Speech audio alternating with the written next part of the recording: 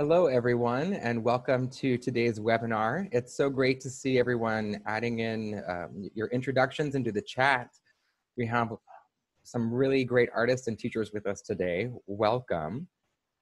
Um, if you're just joining us, please do introduce yourself, introduce yourself in the chat feature. Make sure that that chat is going to all panelists and attendees so we can all see that. You can also send, uh, elect to send a, a, message to us privately or directly as a, as a panelist. Um, but really, we want to use this for all communication as much as possible. We are recording today's session and it will be made available after, um, after today. We'll be uh, sharing that with you and that will be available to share out with the field. Um, we're in this moment of rapid and adaptive response, aren't we all? uh, it's a very interesting moment we find ourselves in. Um, So just a quick introduction. Uh, my name is Jeremy Williams. Uh, like you, I wear many hats. For this call today, um, I'm going to be, I'm the producing director and founder of Convergences Theater Collective. I'm also a consulting a consultant for the Building Demand for the Arts program at Doris Duke Charitable Foundation, where I lead both in-person and online community, uh, online community and learning programs, and also for the Doris Duke Foundation for Islamic Art, their Building Bridges program where I produce online gatherings and media. And also I am a, fellow, a colleague with you. I'm a, an associate, or I'm sorry, an adjunct professor teaching a hybrid graduate course in independent producing at Baruch College and their Master's in Arts Administration program. Uh, so uh, we're, we're gonna have some other folks join us throughout the, the session today. Um, it's, it's really great to have you all with us. And um, before we get started, um, I would I want to ask you to just pause for a moment and pull out something to write with. It could be a scrap of paper, your phone, or you're probably at a computer right now.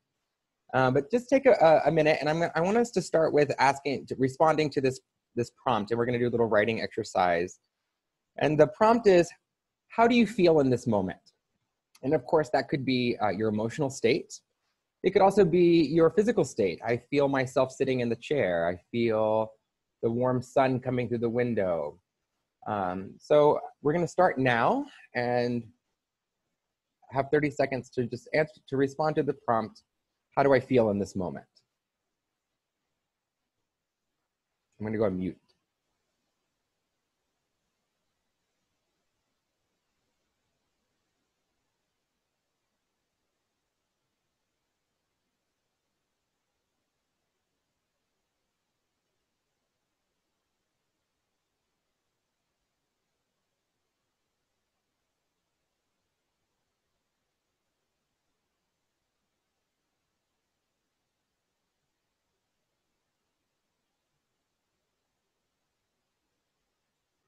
And that's 30 seconds. You can stop your writing. So keep that handy. We'll come back to that in just a few minutes. But before we do that, I want to go ahead and talk about um, what we're going to talk about today uh, in the webinar objectives. So today, in today's webinar, we're going to go through some general information about how to teach online. We hosted a webinar yesterday that really unpacked this information in, in detail. And so today we're going to go through that information a little, a little bit quickly uh, and refer you back to that webinar to have that unpacked because we really want to spend uh, the majority of our time, or as much time as we can today, uh, focusing on this moment of adapting and translating our syllabus specifically for the performing arts and studio arts, uh, and then give some time for, um, for some robust Q&A together at the end. Uh, so as we're as we're moving into the the content portion of our section, I want to just invite you for a moment to just feel your seat, feel yourself in your seat, and take a deep breath in through your nose, out through your mouth. One more time. In through your nose and out through your mouth. And we're going to just do a little guided meditation for a moment. And I want you to first imagine the land that you're sitting on right now. We're all in different places connected by the internet, but we're sitting on some land. And I want you to imagine and acknowledge the native and first peoples that inhabited that land before you set foot on it. Giving gratitude and acknowledgement for those people, those cultures. Breathing in through the nose, out through the mouth. Now we're gonna let that image change and we're going to imagine our ancestors, those who came before us, who paved the way for us to be here today. Breathing in through the nose, out through the mouth.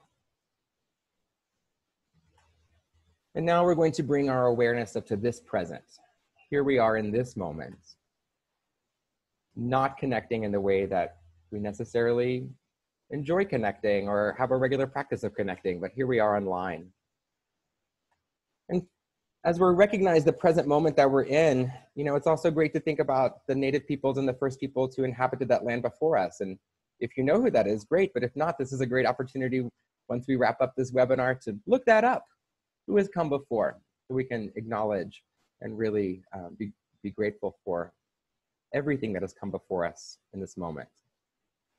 I'm speaking to you from Oaxaca City, Mexico, where I'm splitting my time now between New York and Oaxaca. And there are many indigenous groups of people here, and one group um, that, is, that has been here historically and continues to live here are the Mixtec people.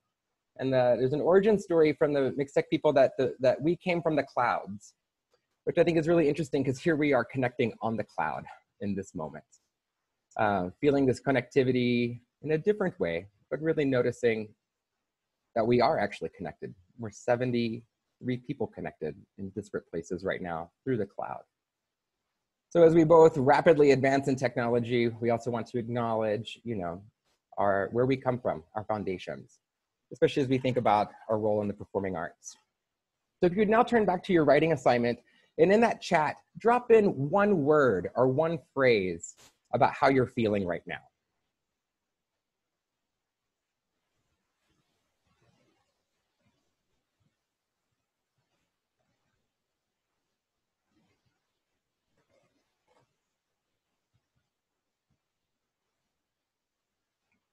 Wow. So many feelings, so many experiences a multiplicity.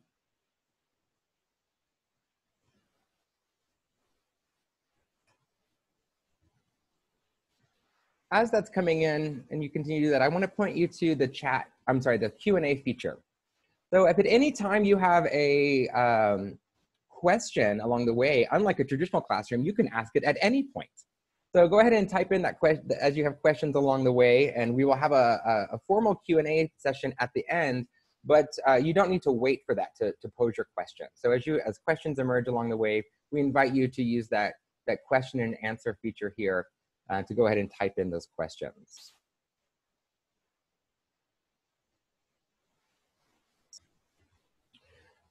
So we want to start by um, talking about uh, and, and, really acknowledging that this is a different learning environment that we're talking about.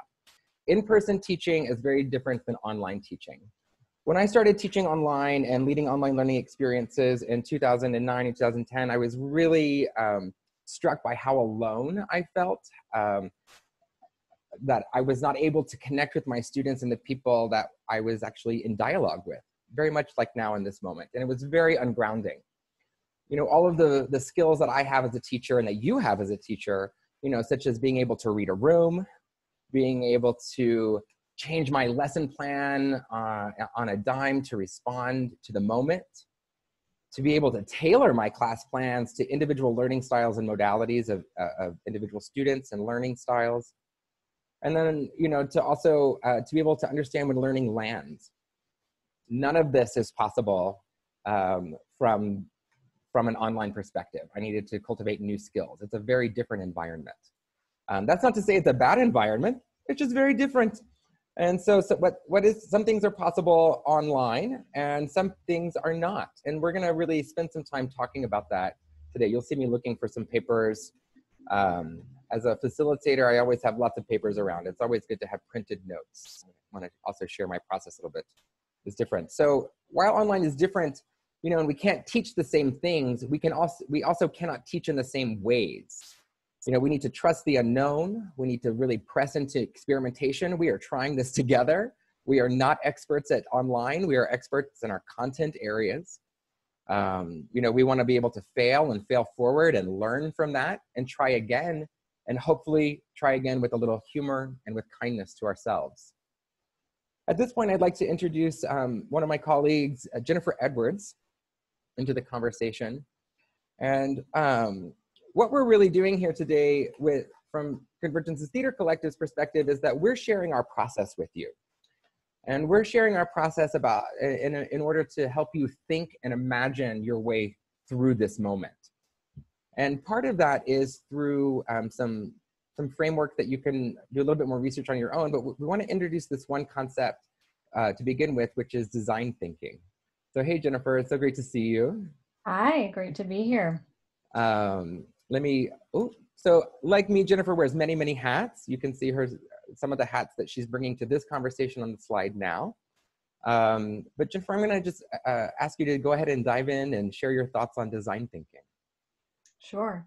So um, first I'll give a really quick introduction of what design thinking is, kind of the, the meat of it, and then um, how I would approach, uh, you know, designing a class um, or retooling your existing classes um, using design thinking. So in the most simplest form, design thinking takes the ideas of, of designing a, a product. It really does come from a, from a product-based model um, and you know designing for the user. So in a very really tangible example i want you to all to think about a wrench. Those of you who were on the call yesterday this will be familiar in the intro. Um, so think about a wrench and think about what that looks like and feels like. Just a standard you know metal wrench that that is was designed to tighten bolts right? Um, but a standard wrench isn't necessarily designed for all the various users. It's designed for the function to tighten the bolt, but it's not designed for all the different hands, the different um, abilities, the different sizes and shapes of hands, arthritic hands that are going to use that wrench. And so a design thinker thinks about all, all of the users, thinks about the audience, thinks about, thinks beyond the functionality, right? So uh, when we apply that to curricula and we apply that to teaching, you know, often, um, you know, and I, and I'm positive that, that all of you do think of your students when you're creating your your syllabi and and and constructing your classes. But now there it's a different format right? This class is taking a very different format. And so you have to again kind of approach this concept all the concepts that you're teaching um, with your students in mind with your users in mind. And so the things that i would think about as as i approach teaching online or have thought about as I as I have taught online um, are things like, and I, I do want to say all design processes start with a discovery process. So the discovery process is really asking questions. It's it's um, taking into account all of the assumptions that you have. And right now, you know your students. You have tons of assumptions about them, about how they behave in studio, in class. But all of those assumptions need to be tested now that you're not in studio with them. And so I would suggest that first, before you do anything with your students now that they're online, is survey them. Understand their access to technology, understand their knowledge of technology, understand their comfortability with technology. Um, before you even start to, to dive into the what you're going to teach and how the heck you're going to translate all this in-person teaching to online, understand who you're designing it for and really work past those assumptions that you know you're going to say oh i know my kids well you don't know them yet in this um, in this format and kids students i've reached that age where everyone in college and high school are kids um, anyway i'll pause and um, very brief introduction to design thinking Great. Thanks so much, Jen. And before you head off, I just want to underscore what you said around simplicity. That design that design thinking is about a simple approach to complex questions or complex problems, right? Not complicated, but complex, a lot of moving parts. And Jen and I are both choreographers, and so this is part of our artistic practice is how do we animate a lot of moving parts? And design thinking is a really great way uh, of thinking about that from a conceptual place. As choreographers, we think about it from an experiential place. Today on this webinar, we're going to attempt to blend those, thinking about how can we be both experiential and conceptual. So Jennifer, thank you for setting that framework, and we'll we'll see you back on, camera in just a few minutes. So as I mentioned, we're here to share our process with you um, to help you think about um, how to make this transition. And, but, you know, I really want to acknowledge first, before we even get in, say this again and again, not all, all of our teaching can be moved online. This is not a, a solution forever. This is a solution for now. Um, it, and we really want to address it for now. There, I'm, this is, we are not advocating for a move to online teaching. We are responding to this, this need. And approaching it with a sense of excitement because we can perhaps learn some things along the way. So thinking about our process, we have um, two major questions we ask in the world of Convergences Theater Collective, whether we're making a new play, a new dance, a new workshop, or course, um, we ask these two central questions. One, what can I accomplish? And two, how can I accomplish these goals? These are very simple questions, what and how, but they are incredibly important. Thinking about what I can accomplish, this first question, we really want to think address this um, from starting where we are. You have a syllabus. You've already done this work, no problem. You also have learning goals articulated. Wonderful. Go to the syllabus, pull up those learning goals, do a deep dive. Maybe some of your learning goals are implicit and not articulated it's a good time to articulate those. Maybe they're explicit and they're already there for you. Um, you also want to look at your available schedule and time.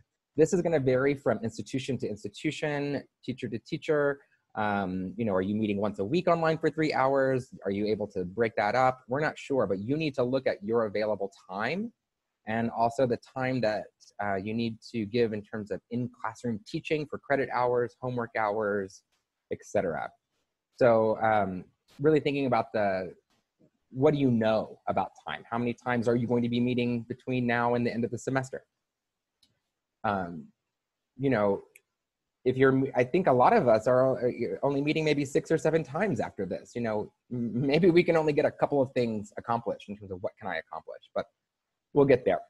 And then thinking about resources, first start with your people you know the performing arts are powered by people by humans you know and uh, we all have really great contacts maybe this is a time where you can leverage your collaborators to be in the room be in the room with you and your students in a way that have, has never been possible before um, you know maybe you this is your first time teaching online but you were at a dinner party and heard a friend or a colleague say oh i'm teaching this online course and you never thought you would have to do it but here you are so think about who's doing this already, what resources you have available, and make a list.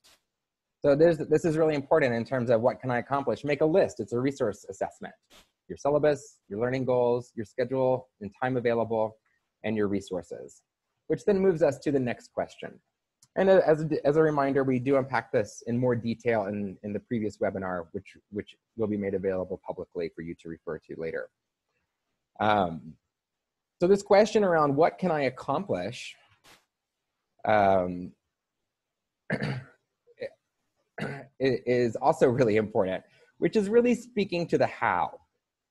Sorry, I need to move a few things around on my screen that popped up. And when I think, when we think about what can I accomplish, we're thinking about process. And we have a three-step process for this. Step one, make a plan. We always make a plan first. Sometimes that can be complex and multi-pages and full of graphics. Sometimes it can be a post-it note with a lot of lists. Doesn't matter which kind of planning you're doing, you just wanna make a plan. Uh, next, we wanna think about participation design. And finally, we wanna think about facilitation, which is a slightly different role than your normal role in facilitating an online or in-person experience. so in terms of making a plan, you know, you really want to focus on the learning goals. And the learning goals will help create the structure and formats for your online teaching. Really center what you want to focus on to learn. To learn. Um, don't get caught up in all the bells and whistles of online. Uh, you know, sometimes it's nice to use video, sometimes it's not. Sometimes it's nice to use a poll feature, sometimes it's not. We want to focus on the learning goals and, in creating structures and formats that lead to the successful realization of these goals. You want to think about um, your content and media. You know, what, it, what are you going to use for this um, to help, to help um, your students understand? you know, maybe there's some advanced reading, maybe there's some advanced video. There's so many incredible resources being shared right now in, in different ways on about how to think about moving our content online and what content is already available online. Um, so thinking about what content would you like to share and start collecting that because this, you'll need to share that out with your students. And then finally with the plan, we really wanna take this one step at a time, which is gonna be really challenging in this moment where it feels like we have to go so fast, so fast, so fast. Um, so we're gonna slow down and take one step at a time. And after you've you know, started making this plan and you're to this point, you wanna ask yourself, what can students do before class? Um, when we're thinking about online learning, I really think about this as transmedia storytelling. You know, that we're using multiple pieces of media, multiple platforms to tell one story, or in the case of online learning, to reach one learning objective. That there's multiple pieces of media, multiple platforms in play for us to get at one understanding. So what can students do before class? Can they watch a video? Can they, um, can they prepare an assignment? Um, what kind of media and what kind of uh, homework can, can folks do to be prepared before they step into the online environment? Once you've answered that question, then you can answer the next question. What needs to be available to students before class, before the online gathering? Making sure you send out those links, post it on Blackboard, what, you know, we're all using a million different platforms, but what needs to be available and then also what needs to be communicated to the students um, in advance. I'm going to point you to the guide that we published um, a couple of days ago. There's, there's some great support in there around communications. I'll just say briefly, one email is not enough. Five emails will be too many. but thinking, really thinking about like how can you prepare your students to be prepared. moving into participation design, you know, thinking about participation design, there's a big buzzword in our field right now, which is engagement. And one, one way to think about engagement is just very simply participation. And, you know, performing arts, we have that in spades. This is our wheelhouse. We are great at participation in person. Let's see how we can now translate that online. So in terms of thinking about designing participation for your students, first we wanna think about formats you know, there's various formats that you can use, like such as this presentation format here. Um, you can have a fishbowl conversation. We're gonna model that version later for you today. You could have an online discussion. Uh, you could have some team learning, working in small groups. Uh, you can also use story circles, which is a form articulated by Junebug Productions. We talked a lot about that in yesterday's we, uh, webinar. We had Stephanie McKee Anderson, the Executive Artistic Director, um, really share that, that process. But this is a really great experiential way to take a deep dive to promote in-person um, or person-to-person sharing within a large group. Um, and so we'll, you, you can find those, we'll send out those resources along with you or for you with the recordings about story circles for you to adapt those as a potential format for um, presentation or for um, participation I want to point to the order of these, and these are organized by the least engaging to the most engaging. And that's something we really want to think about online, you know, that we want to have as much active engagement as we can. And presentations are very passive. A fishbowl conversation can be more engaging depending upon how you structure it. A discussion is wonderful, but that can be impossible if you have a large group. You know how to manage that. You want to think about the logistics of that. And then one-to-one learning uh, or team learning, group learning is super helpful. And uh, story circles, again, like a, a really deep dive into per sharing personal experience. Um, so thinking about um, platform tools, you know, there are a bunch of bells and whistles, and I'm gonna invite uh, Jen, Jen, back on uh, with me now to talk a little bit about platform tools you know, in this webinar right now, we're using chat, we're using the Q&A, we're using a screen share, and we're using live video. That's what we decided would be helpful. There's a lot of other features on this webinar platform we are not using right now. You should not feel beholden to use all of the tools available to you. Your tool should be selected to serve your learning. So Jennifer, you've taught a lot of different classes online, both studio classes, concept-based classes, business classes as a teacher, can you, can you share a little bit about your experience about using platform tools for participation and engagement? Sure. So, um, first of all, and we can't underscore this enough, uh, keep it simple. um, things will go wrong. Uh, total insider information. This almost didn't happen today because we were panicked that the platform wasn't working right before it. It disappeared. Um, it all disappeared. we, were, we were like, right, this happens. We should talk about this. Um, so you know things again like jeremy said we're using chats we're using the q&a we're obviously using video um, and you know i, I uh, would also kind of share that you know again you might have students that don't have access or really good access to technology or wi-fi or streaming so you want to be mindful that's again why you do that survey you really learn beforehand so that you can make good choices based on who you're you're working with. Um, so again, I, one thing I want to talk about too is um, streaming video. So video should be assigned pre-gathering, right? Pre-online gathering. Um, or uh, we talked about this a little bit yesterday. You could do kind of a, a viewing party that everybody's watching their own you know link on their on their own screen and then you schedule time to come back together online but streaming which is a possibility on these platforms you can stream video um, through zoom or through um, various platforms but we would really recommend not. It's glitchy it's it's not a good um, tool and it's also not a good use of time. You really want to use um, these tools to enhance your time together instead of getting in the way or being confusing.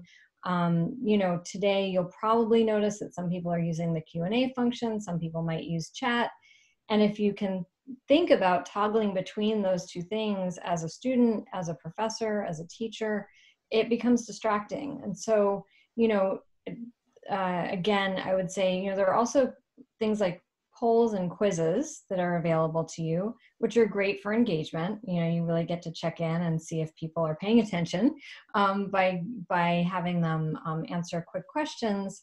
Um, or you know give you a sense take a temperature in the room by using polls but you don't want to overuse these tools. You don't want to tax students attention by giving them too many things to do over the course of your time together. So again keep it simple.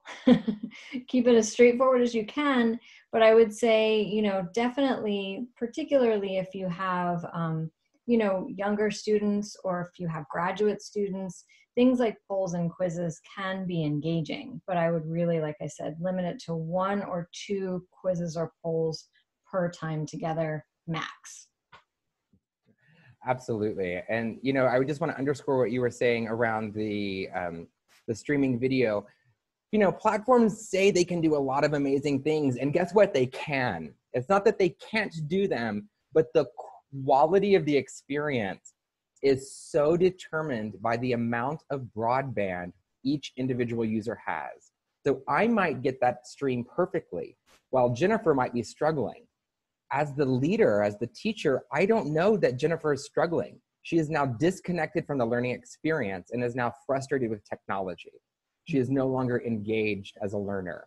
So this is a way, you know, again, like there's a lot of bells and whistles, but especially in the performing in our arts, quality matters. Let's not pretend that it doesn't. And so keeping this simple and thinking about effective and, and impactful ways rather than using um, all of the bells and whistles and tools that are available to you. Mm-hmm. Um, so Jen, I'm gonna ask you to stay on as we move into this next section, um, which is about this, which is about facilitation. So lead, as a leader uh, and teacher and trainer online, I see myself having two roles. One, I'm the educator or the teacher, and then two, I'm the facilitator. The way that I think about that is I actually do as much of the teaching as I can in advance in terms of preparing people. So then when we gather together online, I can then facilitate a learning experience. This is very different. And this is because technology is in control. I am not in control as the teacher in this. Like I, we have to roll with it. We can only do what we, we can. Um, and, and so my role as a facilitator is really important. And so to prepare for my online experience, to host that online class, I need to think as a facilitator. And um, so first we want to talk about, um, you know, the role of facilitation. You know, we've said multiple times now that you want to keep things simple. So once you have your class plan, you want to review that class plan with your facilitator hat on or through the lens of a facilitator. And you really want to keep two things in mind simplicity and impact. Um, first of all, you want to make this easy for yourself. Let us not pretend that this is not a heavy lift right now, okay? Make this as easy as you can on yourself, first and foremost, okay? Uh, next, you also need to make it easy for the students. You know, if you're toggling between a bunch of different things, la la la la, how can we streamline this? You know, but ease of use for myself, and I always think of myself first, honestly, and then I think about my students. But how can we make this a streamlined, easy experience? Um, I also want to review my class plan to make sure that everything is meeting that one learning goal. I mentioned this in passing, but really on an online experience, you can only get a, one thing accomplished. Um, and in our, in our time left in our semester, you know, maybe you can only get three or four things accomplished in the next five or six weeks or however many weeks they have, have left. I mean, we want to get real simple about this. We want to dig down into what is essential. Uh, you know, so if it's essential, is it meeting the learning goals? If not, change it, let it go, try it another time, save it for later. You're going to have a lot of great ideas. This is a generative process. But really ask yourself is it meeting the learning goals? The third role of the facilitator is to both insert and to be comfortable with silence. We're going to have a moment of silence.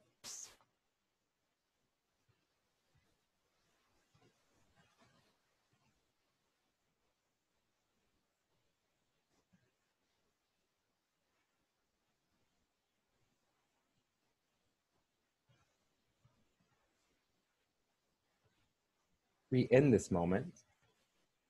Noticing how your heart feels. Were you nervous during that? Did you want to fill it? Do you wish there were sound? Certainly, as a teacher, I want to fill it at times. So, Jennifer, I'd like to ask you to, to jump in and talk a little bit about the, the role of silence in this process. Yeah. Um, so, you know, and Jeremy, you just said this. Often we feel the need as humans to fill space. Um, but a lot can surface in silence. Um, often we need time, students need time to collect their thoughts, to really respond to what your prompt is. Um, and also, you know, there is there is real distraction. There's also a real power in silence. Um, you know, on a personal note, uh, uh when I have performed as a spoken word artist in the past, as and as actors all know, to stand on stage in silence is much more powerful than to talk on stage sometimes.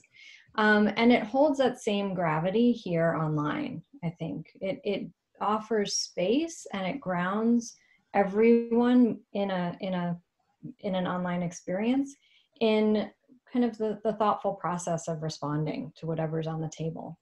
Um, also, you know, particularly if you're if you're doing a movement practice or something with your students online um, things like music are probably not going to be very engaging or interesting. It's going to be another added layer that's that's not really interesting coming through the speaker of someone's computer when it's you know playing on the side and a speaker for you or something. So you know you're probably going to be moving a lot in silence um, which might be different for your students and for you.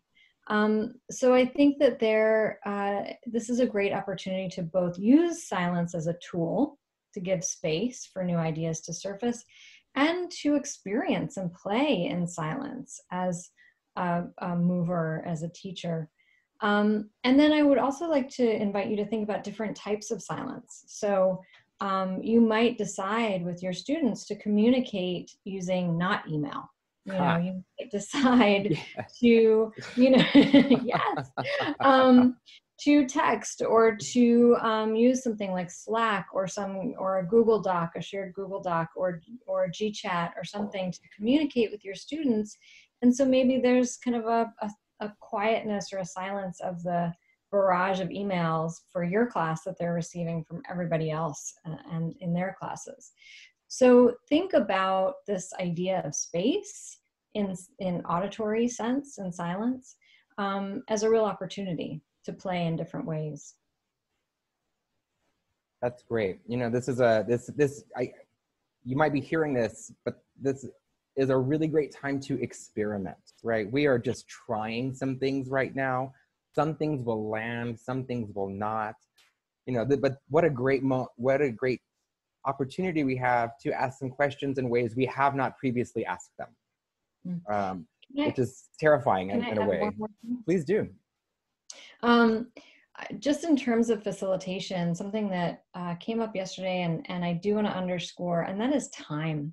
Um, you know, I think as a facilitator, and, and Jeremy, I know you're keeping time and we're all keeping track of time, but also, you know, if you're inviting students to speak, um, particularly if they're not in a theater class, right? If they're not used to speaking, um, uh, and you want to make space for everyone to speak, and you want to give people parameters you know everyone has to speak for two minutes or everyone has to speak for you know a minute.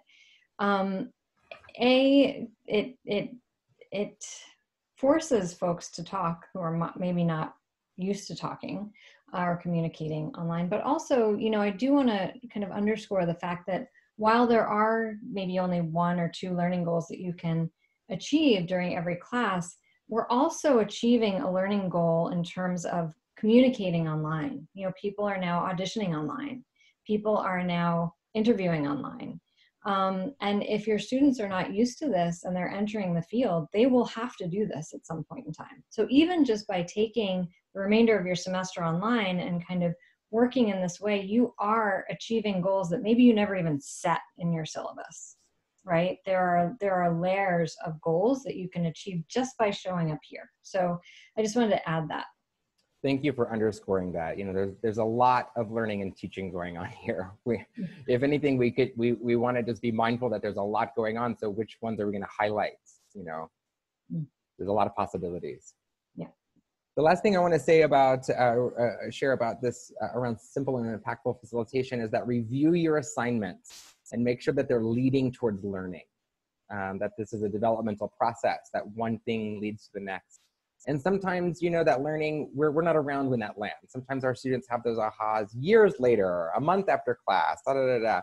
No problem, but that is our practice, right? As, as performing arts teachers and, and practitioners, is that we're leading towards something, right? So really look at your class plan to make sure that it's leading towards learning.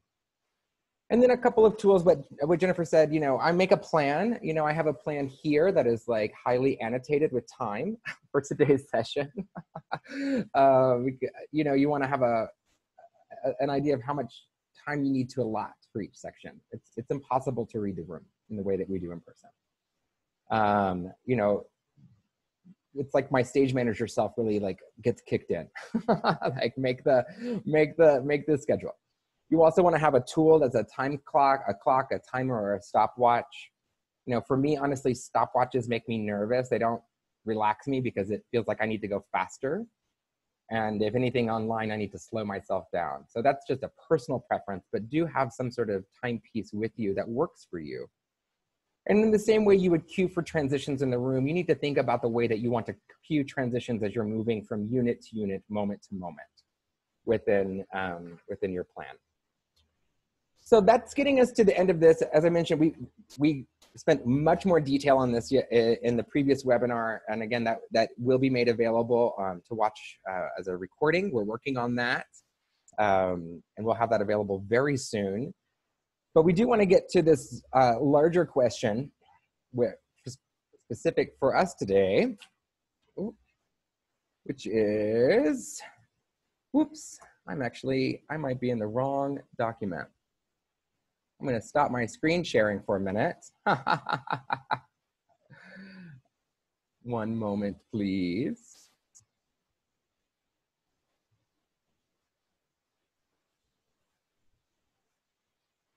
Indeed. Um, Jennifer, while I'm paused, can you, yeah. I'm not sure if you can do this. We're, we're moving on the fly here right now. Can you promote um, Kate and Liz to panelists? Is that something you have the ability to do? Um, I, well, I don't have bios for them, but I do. Uh... uh, no worries. Actually, so I'm just going to let go of the screen share for now. and uh, continue talking together. The screen share is a tool for helping listen, but we're actually going to move into um, a fishbowl conversation in just a moment. But before we do that, we really want to talk about uh, performing arts online. And I do want to say that I do not feel that online is the ideal learning environment for the performing arts. Mm-hmm. However, it is a really great alternative when we cannot be together. But it begs this question around what are we teaching in the performing arts? And I've really been thinking about that, and I think we teach three different things. We teach performance technique, we teach artistic practices, and we teach creative process. And I'd be happy to get into a debate with you all later on, on that. But uh, for this conversation, we want to look at those and keeping it simple as these three different things. And for me, this this relates to this idea, um, you know, like a performance technique is the ground, the foundation of our work as artists, right? What is that foundation? And artistic practice is the path or the way. How do we do it? You know, and then creative process is an understanding how we arrive at that and how we can repeat it and share it with each other. It's Like an, it's like fruition. You know, from a, a Buddhist perspective, ground path fruition is very connected to see how I how I see us teaching performing arts, laying the groundwork through technique, showing and revealing the path via practices, and then having artists come into their own fruition through understanding and working with the creative process. Technique might be really hard to teach online. If you're a ballet teacher, it can be really hard to have a barre online. If you are a music teacher, how are you holding sectionals online? This is, there's something about technique that can be really challenging to, to teach online, but practices and creative process are two areas that we include in our in our teaching, but not always explicitly. Um, and Jen, I'm going to invite you to to talk a little bit about that while I bring uh, Liz and Kate on. Yeah. Mm-hmm. So, um, in talking about uh, this um, gathering specifically, I started th- to think about um, both big aha moments for myself when I was a student in uh, university, and then moments in teaching and in, in my professional life um, and two things really stuck out as from my time as a student. And one was I remember a moment in ballet class with Terry O'Connor, and he kind of turned to us all and he said, "You know, when you when you get out into the world um, and you don't have money for class, how are you going to stay in shape? How are you going to keep your technique up?" And I think we all went, "What? What? you know, we can't have class every day. What, how are we going to do that?" and it was this huge moment where we really got into a dialogue as a class about it he stopped class we all talked and and i was thinking about that in this context as you all are moving online and we all know as as professors and as teachers we have those moments in class where you just feel it. You feel that the students need to talk about self-care. You feel that the students need to talk about you know a career in the arts. You know that you um, you know that students are just having that day where they need to really learn learn and talk about um, developing a, a, way of being in the world as an artist that's not about going to the barre that's not about going to the easel that's not about you know practicing your scales and so in in this context we have the opportunity to do some of that teaching that we know how to do already, right? We know how to hold those conversations. We know how to introduce those concepts. We know how to lead students to other forms of information that will help them when you're not there, that will help them when they're no longer in school. So that's one. Um, and I won't go through all my whole list.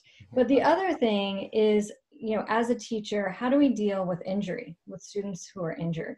and often we have to move you know a big moving section into a chair dance we have you know a when there's a hamstring issue or a calf issue or something you know how do we navigate those moments and in many ways that's going to be the next few weeks for you right? How do you navigate that as a professor when you do when you are constrained by a circumstance?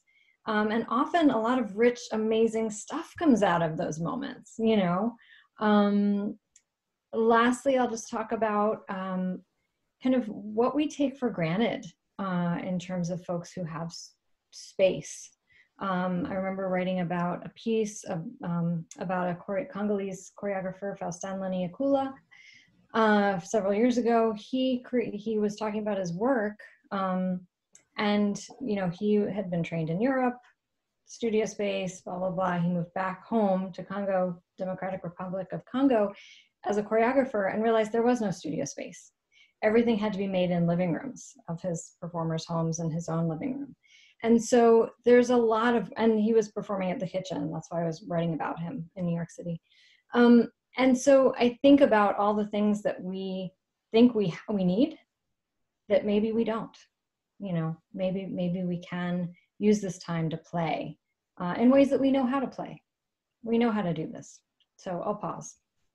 Thank you so much. Mm-hmm. Um, it's so true. We do this in many ways already, you know, and that's so relaxing to hear. There's a lot of new coming at us all right now, but we know, we do know things. We do have experience with it. You know, we, we're doing this and it's a reframing. That's how I'm thinking about this as a reframing, not a start from scratch. And so um, as we think about that, is we think about this reframing, you know, there's, we, we started with the question, what can we do? And then we had the question, how can we do it? And we had those three steps. But then this question around how do we adapt and translate our syllabus and class plans for online? And to have this conversation, where I mean, you can see that Kate Amory, Kate Bowler Amory, and Liz Stanton have joined us. Both are um, uh, they're two of my uh, two, two of four uh, producing partners with Convergences Theater Collective. Uh, Kate is a, is a producer, project visionary, and co-founder. She is a professor of acting, movement, and devising theater. Uh, Liz with CTC is a theatrical development producer and project visionary. Uh, she is also a professor of voice, movement, and acting. We're going to model our process for you uh, and also model what an, a fishbowl conversation might be like as a format for engagement for you today. Um, so we're going to ask you to participate along with us actively.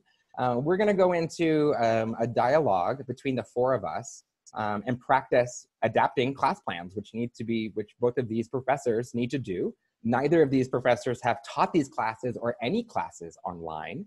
So, uh, so they are being very brave uh, to share their process with you and with us as we collectively seek to solve these problems, which is how we work in Convergences Theater Collective. It is the power of the collective to creatively come up with solutions for this. So as, um, as, as an audience on this, we want you to be in the mind of the student. And guess what? You are learning how to teach online. So here you are as the student. And we want you to participate through, with this, with, along with us in this fishbowl conversation uh, through the chat. Now, this is really interesting because in person, when we do a fishbowl conversation, you know, often maybe it's in a panel and we're over here, there's a circle and we're all sitting around. You know, the audience doesn't get to talk, right? They just get to listen and observe. But now in this format, it is not distracting to have multiple conversations simultaneously. In fact, it can be enriching. So we're going to give you a little framework about what we would like to hear from you as we're having this conversation. We would like to, you to respond to the three different topics below in the chat. There are three different categories. One, you can talk about things you appreciate, things that catch your interest, ideas that spark you, things that um, you appreciate. Um, another category or topic you could think about is inquiry such as what questions are emerging? What would you like to know more about? What doesn't feel clear? And then finally, recommendations. There are a lot of smart people, actually uh, everyone on this call is brilliant because we're performing arts teachers. uh, so we all have some recommendations. So there are three different ways that you uh, can participate in this fishbowl as we move forward, sharing your thoughts about what you appreciate, your inquiry, and your recommendations. I will say in the room, if we, I facilitating around this and you went off topic, I would course correct. I'm not going to course, I won't be able to do that in chat. So I will ask you to stay true to these three. This is what we're asking. We would appreciate this from you. This would be of use for us. Uh, so we ask you to stay within these three categories for now. If you have a, something outside of that, please send me a private chat or something different. Uh, you'll notice we're not asking for what didn't work. And that's um, actually really important here. Appreciation, inquiry, and recommendations. With that, I'm gonna stop sharing my screen and I'm gonna invite Kate and Liz to come off mute. Thank you all for joining us today. We've, we've, this is a continuation of conversations we've been having today, and now we're just moving it online. Um, Kate, you mind saying hello just so we can check your volume?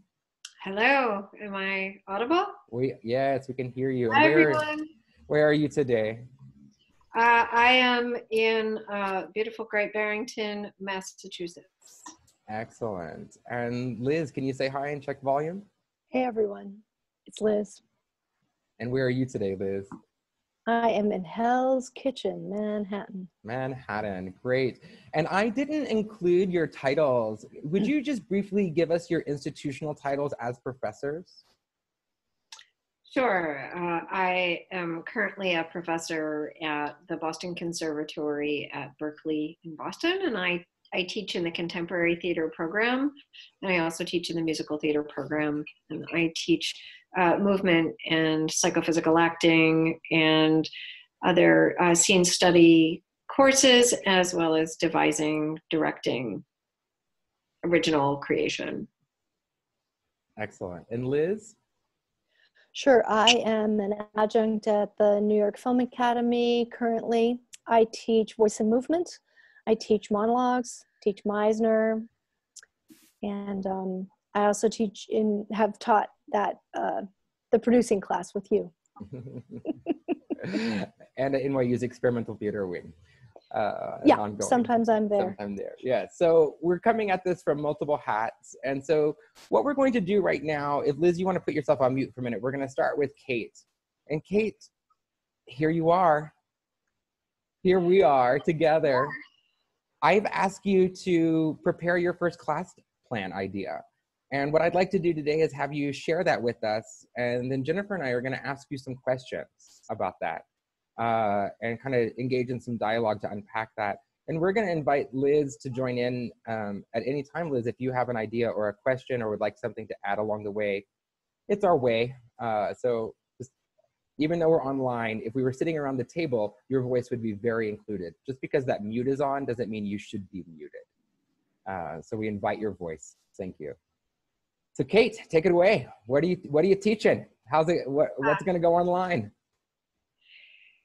Uh, thank you, Jeremy, uh, and thank you for hosting this. Uh, so, as suggested, uh, I went back and looked at my syllabus and looked at what we have remaining in the last seven weeks of class this semester, and uh, the class that I chose to talk about today is a scene study class for musical theater junior level students.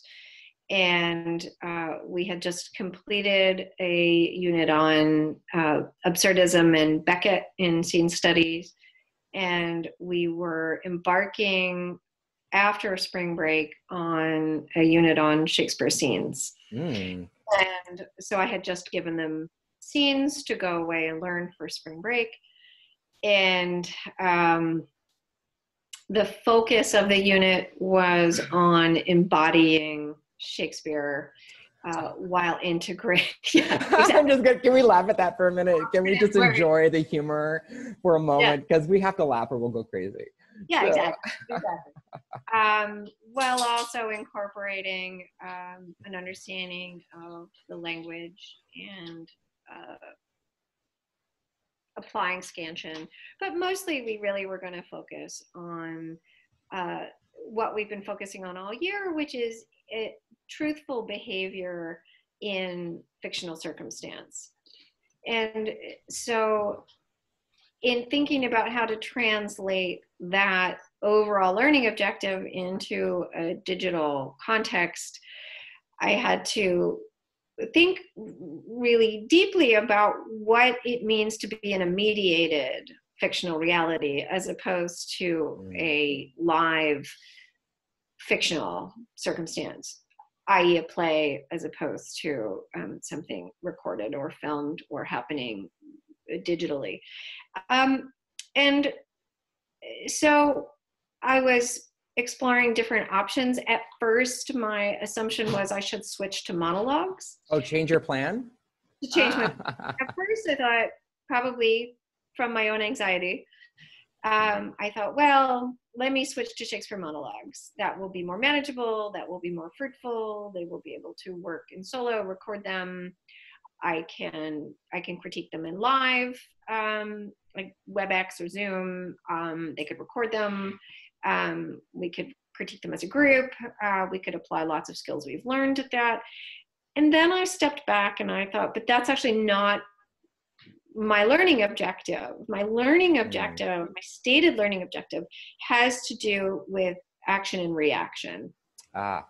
And and it's not that in monologues you're not reacting. Of course, you are responding, and you are responding to imaginary circumstances. But that would deprive the students of the opportunity to explore what it would be like to work with uh, scenes in relationship while across a digital platform. And I thought, well, let's just see what happens if I imagine ways of doing that, even if we discover it's really hard or it's not so fruitful. There would be learning that happened uh, through that process. And so, a couple of ideas that I'm going to throw out that I haven't specifically landed on yet, but would be um, what if the actors kept their scenes and rehearsed with phones on speaker or laptops if they so chose, uh, or tablets, honestly, um, but only without video, just with audio to begin with, so that they could rehearse in their separate spheres, audio to audio, um, without worrying about capturing video or the or feeling uh, silly on video. Yeah, right. I think that's a real thing to consider, right? It feels silly to explore sometimes on video. It feels silly in the room, let alone when you don't have anyone to physically respond to. Yeah. I like right, that. exactly. So so to to think about their experience and maybe um, baby steps towards uh, a, a, video relationship. Um, so starting with audio and having them work by calling each other working on their scenes and then maybe sharing that just in audio with us first especially because it's shakespeare um, there's something very valuable in just listening to the play um, and then graduating towards uh, video and working across video platform another thought that i had was um, in recording their own side of the scene in audio and then sending it to their partner so that their partner can work with obviously gaps in between so that their partner could work physically, corporally, in, in, an embodied way in relationship to the mediated sound of their partner, so that they're working live, but they're working in relationship to mediated text, which is something I've done in my own performance work a lot. And it hadn't it was sort of a later aha moment of like, oh, there's real value in that, that that I can have a live response to uh, recorded text. Mm-hmm. Um, and then also it could be video. They could record video of themselves and send it to their partner as well. But again i like the simplicity of starting with um, listening to each other. And then the other possibility that maybe then gets complex and interesting or maybe is too complex would be the option that they could use GarageBand or some other platform if they're comfortable with that to actually distort modify expand change even using viewpoints dynamics um, to to change uh, the recorded text so that they're responding to text that has now been mediated by themselves so that they're thinking about creating a performance in response to um, something that's dynamic and that they're in a creative process with. So those are some thoughts I've had about where to go in a traditional scene study class that's suddenly not traditional. yeah. That's yeah. so great. Thank you for sharing that. I want I just want to do a quick feedback and share some things that I heard that I appreciate and then I'd like to invite Jennifer and Liz to jump in on a couple there. I appreciate that you're thinking about this in a developmental perspective. First, audio, then video, maybe, and then later, maybe mixing media. or like distorting working with the media as media, right? As a as a as a tool. So already you're thinking about a step, a progressive sequence, right? Um, and so it's really great to hear that. I also like this idea of the simplicity of the audio. You know that you. Um, and so I'm going to turn it over to Jen at that point. I have many more, but I'm getting a note that my signal's unstable. So. Um, yes, uh, not to not to belabor a point, but I do love the um, the progression. I love the uh, the fact that you're. It sounds to me like you're leaving it up to the students also to say, "Hey, here's a range of things that you could play with."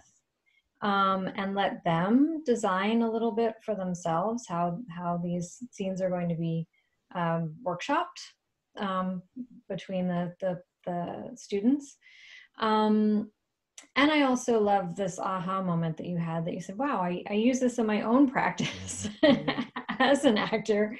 And so there's that, that added layer that we touched on before of giving them tools that, that they might not necessarily have gotten from you if this hadn't happened, you know, that, that real life um, piece. Uh, Liz? Um, hey, trying to discover how I can go off mute without scooting around the computer screen. Um, yeah, Kate, I mean, this is, it's, it's, in, it's really, it's great how you're um, allowing the students to, to empower them themselves and how they can, how they can progress through. And I love, I love that it's a step at a time. Yeah, I hadn't thought about audio only. Um, yeah, I, I mean, it feels it feels empowering, and embracing the new technology. Mm. Thanks, Liz. So, Kate, I'm going to come back to you and say, what questions do you have right now? Like, what feels unclear? What would you like more clarity on personally as a leader? Like, where, what questions are floating around right now that are not solved?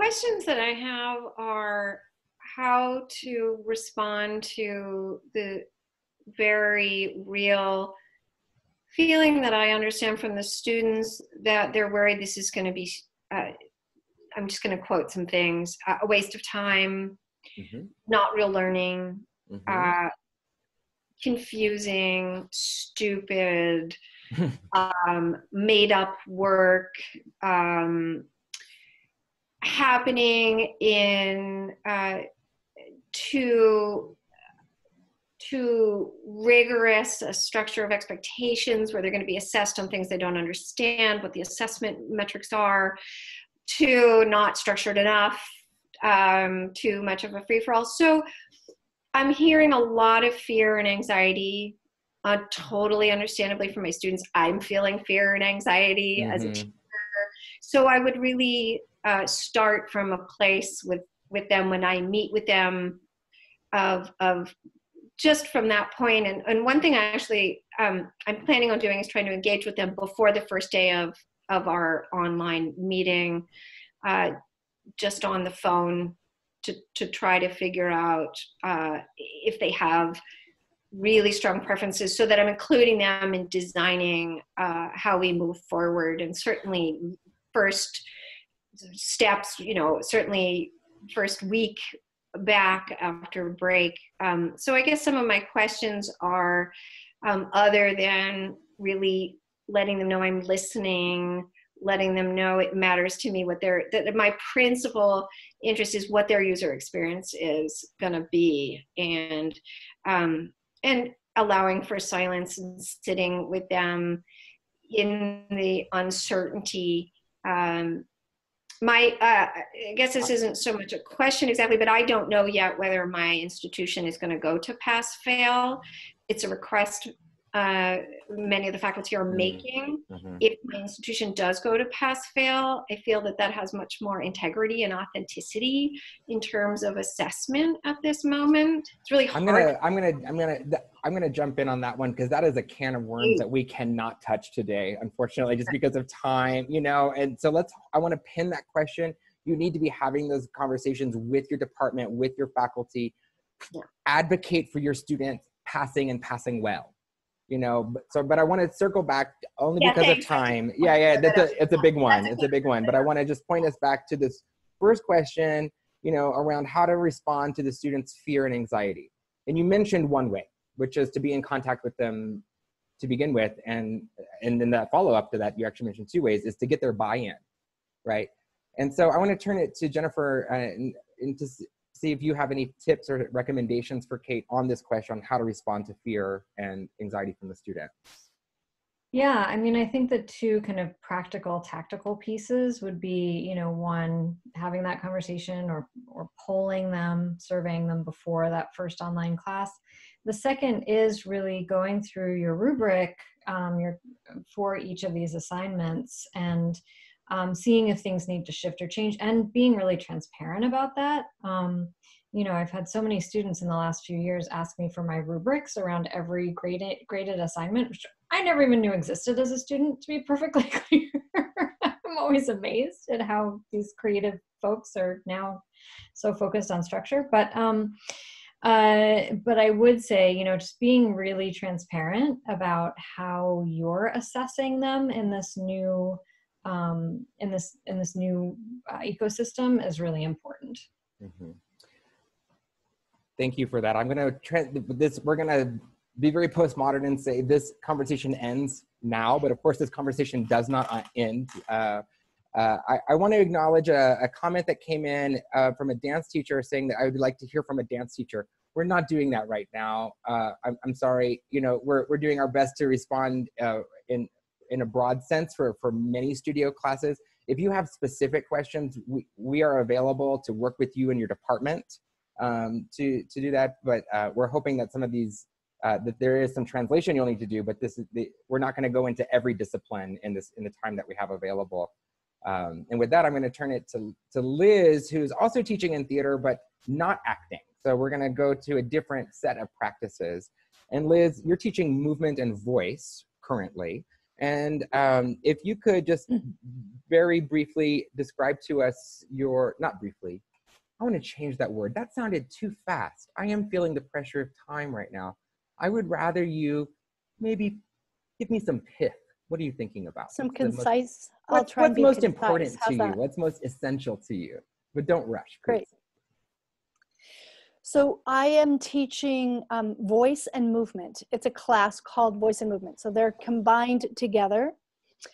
And I'm also teaching a monologue class, but I I want to focus on this voice and movement class because I'm concerned and um, but I'm also excited because uh, I I was going back through what we had learned um, or what we had covered in the last couple weeks. And we had done a mirroring exercise and I and and then they were pulling sound from each other. So basically the exercise started in physical movement and then i split the couples so that um, one person was making sound and the other person was moving in reaction to the sound. So um, so and then they ended up pulling sound out of each other in that way and what i just what just occurred to me is i might try to return to that same type of exercise um, because they've done it but we're going to do it on a new platform online. And i could use the breakout group sections to pair them together and they could work on their own for a while and then come back to the class to the classroom.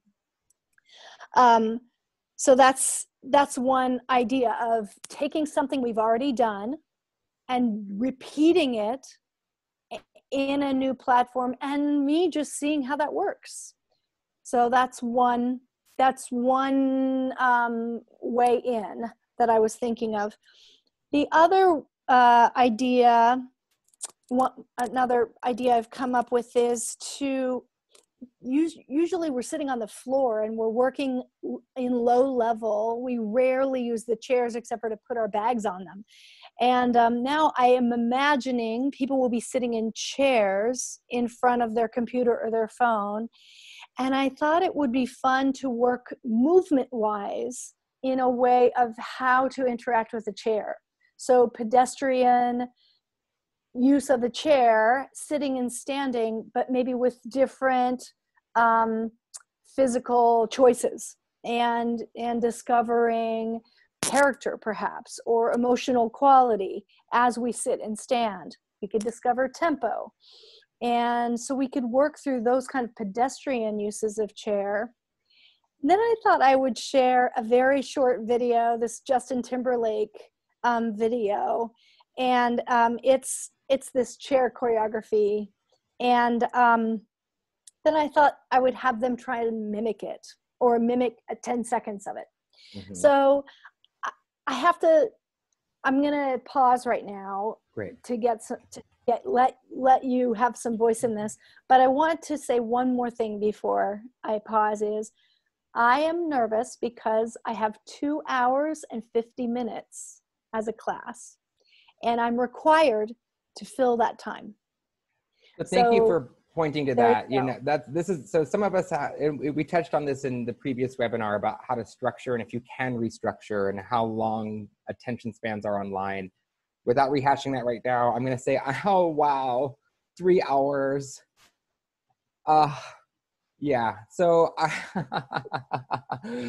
um you know thinking about how to break that up into different units and sections and, and engaging multiple ways you know it's great i love i appreciate many of the things that you've said I'm going to start with I appreciate the repetition of starting where you ended in the last class and repeating that in an online. I think that is a great way to check in and see show the differences. We started this conversation about it's learn it's a different learning environment online and in person.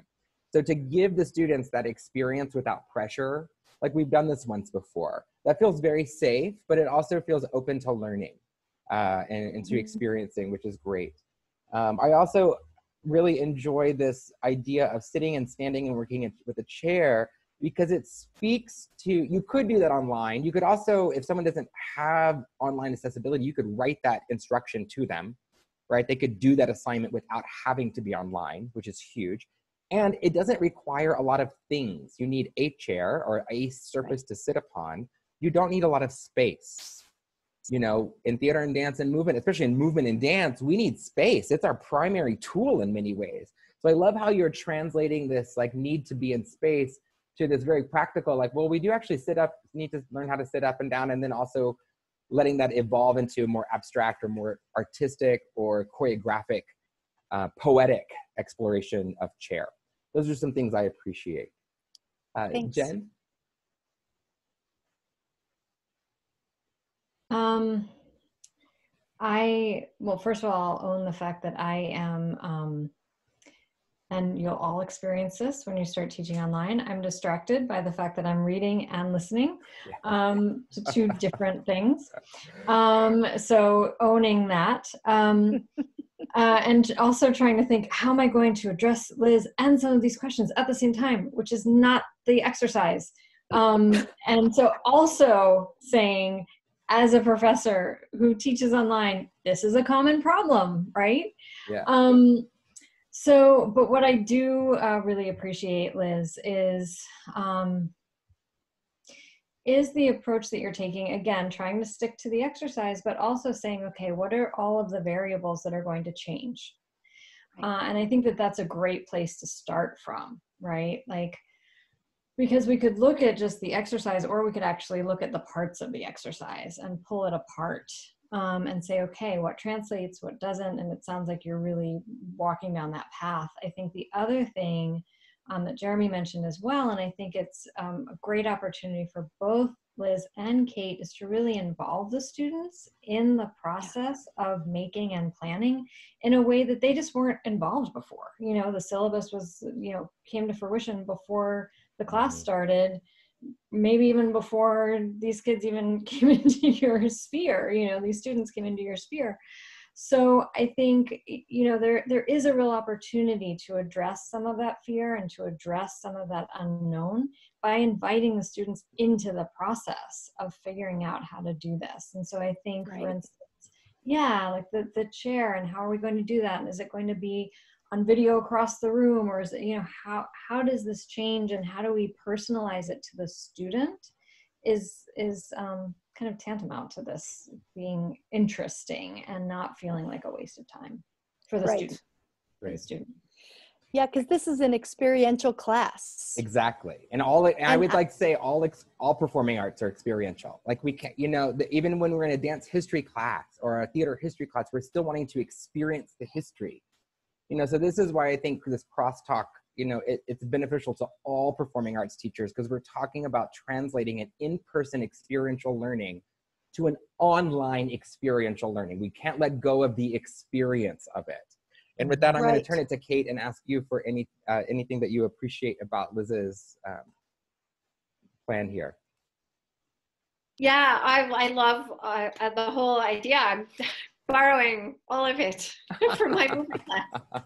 Um, but I, I think that the, the thing I want to share, just because I, I, I work very somatically, um, is that picking up the exercise that you already did in the room with them that was physical and vocal and then building on that um, seems really wise and useful because so much of what we do is first we experience first we we explore improvisationally and we have an improvisational experience that's corporal and sensorial in, in performing arts and then we repeat it and then we repeat it and and uh, capture it. And we capture it in in live theater through our you know probably our prefrontal cortex right? We we we create a, a form out of it and then that form becomes repeatable. And you know we call that blocking or gesture. Um, and uh, being able to to reference that improvisational experience that they had in the room together and then think about ways in in which you could continue that process uh, not in the room together but it's still referencing a real live event that they shared I, there's something really elegant about that to me Thanks. Great. So Liz, we're gonna um, turn it now to you. Like, what questions? Where where are your questions? Is it going to work? Oh yeah, we don't know till we try. Yeah, I Oh, mean, we don't I'm know. actually Yeah. the, the thing about having a longer class period is I think I do have time to really talk through and not talk through, but we have time to explore. And oh, is this working? Great, let's keep going with it. Oh, this isn't quite working. What can we do to make this better? And honestly, that's what I I say that in my classroom all the time. Mhm. And um, I was just thinking about, you know, I do that ball toss game. I'm sure many of us in this forum do a ball, uh, we toss the ball to each other to give and receive and to share our voices and share our breath or whatever we might do. And when I taught a class where we had to be six feet away and I didn't want to toss something that we were all going to touch, we ended up tossing sound. And so I introduced the, you know, Linklater's, vowel ladder, and we tossed those sounds. And then we had multiple balls of sound going around the room. I just wonder if we can do that in Zoom. Like, I'm willing to try. So, uh, you know, I, but you asked me a question and I gave you a new idea. and I'm gonna and because of I'm time we're gonna need to acknowledging that. try yeah Yep, we're gonna we're gonna it. transition away but I think that's a Yeah. really big question how will it work and we How will it in work? the same way in the performing arts we don't know until we put it in front of an audience no matter what our Yeah. discipline is and this is a new way of putting work in front of an audience we're we're we're, we're exposing ourselves as teachers as not knowing you know Yeah. that can be really I'm willing to not know. that's good that's good but that maybe not all of us are you know and i think our, our i think that's a real question around how can we or what level of vulnerability are we willing to share with our students in this process you know and i Yeah. think that's something that we all need to be mindful of and answer for ourselves you know that you know to be honest like i'm not an expert at teaching online but i am an expert of this but like we're learning together and you know this is a real redistribution of power Even more horizontal. even more horizontal for those of us who are used to like a horizontal approach to working like the viewpoints or composition where all elements we work in a natural hierarchy emerging rather than the top down right? Right. The director or the choreographer, da, da, da, down, you know, the professor. You know, this is the technology is honestly in charge in this moment, and we have to, we can only test and try. And I've had massive fails, I've had massive successes, and I want to turn now to ask uh, Kate and Liz this question. You know, we've been online with Convergences Theater Collective in many ways uh, together. You all individually have also experienced and, and, and, worked with different ways of collaborating and learning online. I would like for you to each share a, a, a brief experience of when it worked. We've been talking about our fear of it not working. So I want to just hear what's one moment that has worked for you in the past? And let's start with Liz. Okay. Uh, well, I I it, when I'm when I'm collaborating with Convergences Theater Collective uh, folks across the country and now the world, um, what works is having a plan, having an agenda, and knowing what's next, and then listening Hmm. listening allowing for time because um, the voice and and the video doesn't always line up so i need there's time in between and that's okay Yeah. Great. yeah so that's my experience with ctc Wonderful. Kate, Yeah. can you share, would you mind sharing a, an experience of working online that has gone well for you in the past? Yes, um, I, I would um, just point out a, a project that I did where I I began uh, devising a show with students uh, at the end of the spring semester. I assembled an ensemble. We gathered. Uh, we didn't spend a whole lot of time together, but we spent uh, a couple of sessions together enough to have um, real commitment and buy-in on the project and to lay out the territory that we were going to explore and to set some goals for each other that we were going to hold each other accountable for over the summer. And then we used really simple uh, a platform that at the time they chose, which was Facebook, to hold ourselves accountable. And we created a common physical practice that we shared over the summer. And they uh, and then also some research and um, devising strategies and plans uh, on Pinterest and at the time um, Tumblr before Tumblr got super complicated and was just a blog. Um, and it was incredibly successful. And when we came back as an ensemble together in September to develop the piece, uh, the the students had remarkably stayed in touch every day and had created a tremendous amount of work that we hit the ground running on. And they also could do 100 push-ups, 100 sit-ups. They could run five miles. I mean, and they were not in great shape in the spring. they all spent, all 16 of them spent the summer training alone But together. together, yeah. Alone together, yeah. And so presenting Mhm. that model of alone together, like I am definitely going to draw on that in this, and um, have already spoken with my um, my department about offering a community practice class for the whole uh, my whole um, particular program where I will just offer to do that and lay out some protocols and offer support and, and then let them go. And if it's TikTok they use or whatever whatever app they're using, Yeah. doesn't matter. It's about the alone together. Yeah, and thanks for bringing that up. I love that idea of alone together. You know, and this was coming at a time where you had a semester break. Now we have this in the middle forced break, right? But nonetheless, it's kind of the same context in that we had time together, and then we're going to have time away. And I love this idea of, of how can technology help us be accountable to each other, to each other, not to the professor, right? But student to students, right? That they that they're looking at developing their cohort and their and their ensemble and their connectivity to each other, their network, without having to pass through the teacher, the professor, right? So this is another way that technology can also distribute that and hopefully make your life easier. Did you have to check in on them all summer or do a lot of work to keep that going? Oh, Not great. at all. Yeah, No, they not do at all. exactly so when you have buy-in you know you, there there- it's remarkable and i would imagine that they continue that after that project that that wasn't limited to that you know once you have that that group going you know it, it did you have any sense of that Well, sure. Yeah, Yeah. actually it was it was a project was eight years ago and they're all actually still a, a, facebook group and they're all still very connected after long after graduation and spread around the country and now they working are, professionally yeah, yeah. and they're all working professionally. oh great support each other yeah. shout out time. I mean, literally, some of them still train together physically over space. That's great. Well, I want to be mindful of our time. I, I, I have been seeing questions coming. We're, we have only about five minutes left of our agreed upon time together.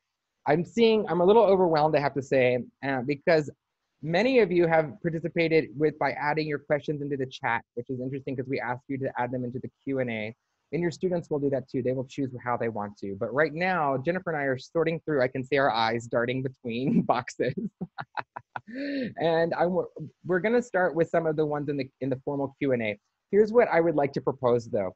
We will address all questions, not in this webinar right now, but we will, the four of us will respond to your questions and we'll provide a response to those questions publicly along with the recorded um, session. So all questions will be responded to in the best of our ability but not in this moment, which is another tool you can offer your students. Sometimes the time ends, but how can we can keep it going? And so just because our time is ending here doesn't mean that this conversation between us needs to end. So just very briefly, um, there's one question here about, can you tell us about breakout rooms and how they work?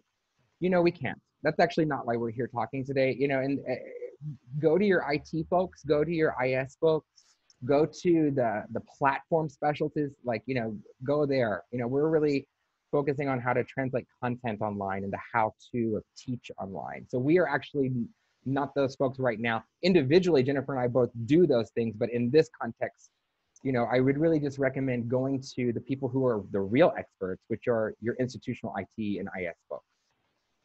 Um, um, so, so someone asks, uh, regarding content, I'm intuiting that I will need to move away from encouraging scene and study, scene studies and monologue, scenes and monologues that dig too deep, as I worry that some might get triggered, which I find is so common these days. Things I can navigate with the actor while being able to hold on to the room, but but will have so little confidence in being to do so the same remotely. You know, and I think that's that's a really great question. Again, it gets into the what so maybe maybe now is not the time to dig into the like super emotionally charged content. you know, maybe maybe it's a time to look at uh, you know uh, something simple as like um, call and response or timing or you know listening in different ways or dramaturgy either physical dramaturgy or historical dramaturgy to the scene work you know not forgetting that we have a whole field of research at our fingertips as performing artists. Uh, and so you're right, maybe asking a, a student to go into either a, uh, physical work that is too hard, that needs to be supported in the room. I would never ask a dancer to work on fouettes without me in the room for the first time, especially on pointe. That would be dangerous. Uh, you know, the same thing is true of emotional material. We want to think about our emotion, our, our, our, our students' well-being. So then asking again this question around what is possible, you know, to get a little bit creative about that. Um, Liz or Kate, do you have uh, any any feedback on that or follow up response to that question? No. Jen.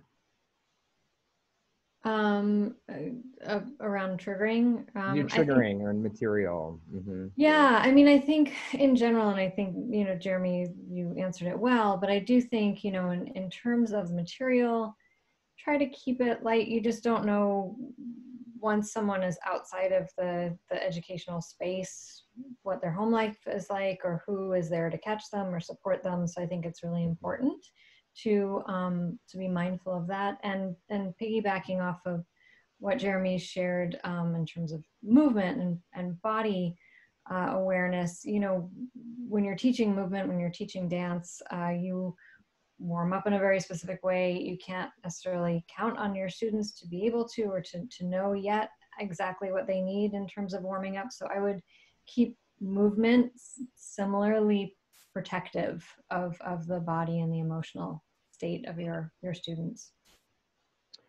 I Great. would also add that one of the benefits of starting at, at, this point halfway through the semester is that I suspect um, safety protocols and safe words or practices or rituals have already been established. And so I, I think um, reminding uh, students of those and creating a, a, digital version in conversation with the students would be appropriate. Um, I have those practices in my classroom, and I would definitely think about, you know, what's an online version of moving forward with those practices. I also want to just. I'm, I'm sorry. Go ahead. About um, feedback and having safe feedback protocols too. That's all. Absolutely. Sorry to jump in there. I do want to be mindful of time. We are at time. A real quick recap. We will respond to all of these questions and we will share those responses with everyone who is on this webinar. Again, we guided our questions today. First, what can I accomplish? And how will I accomplish these goals? We're going to answer that with three additional questions. Make a plan, design for participation, work on your facilitation. What do we teach? We teach technique, practices, and process think about what can translate online. There was a great question around, I'm, you know, difficult to teach technique online. You're right, it is like, uh, you know, and we really want to like be creative in how we do that. So there are, there's also some questions around, um, you know, can we share some resources? Yes, we can share some resources. There's also two really great Facebook groups. Kate, can you give us the name of those groups that for the theater, or actually all performing arts? There's one. Uh, there's the remote teaching for the performing arts on Facebook, and then there's right. the uh, movement and stage combat group. Oh, and there's there's several. Then okay, so we'll send out in a follow up to this. We'll send the slides and we'll we'll point you to that. But there are a ton of resources online right now, you know, and so. Um, we have, you know, we're going to make this webinar available in the, the past webinar about teaching online. We also have a guide. Um, we'll be sending that out to you. And we also offer training for faculty, for your faculty. Uh, so if you need more support, ask your chair to get in touch with us. We are, we are unfortunately, we're unable to support on an individual level right now, um, but we are happy to work with institutions to provide online training um, for you and all of your faculty peers. Uh, thank you, Jennifer, Kate, and Liz for joining us. Thank you all, all for joining us today on this call. It's been a pleasure, a crazy time, but I am so grateful to be connected with you all in this time of craziness, bringing a little bit of sanity to the situation. Thank you for your time and your experience. Thanks, Jeremy. Thank you. All right, everybody. Have a great day. We'll be in touch soon. Bye.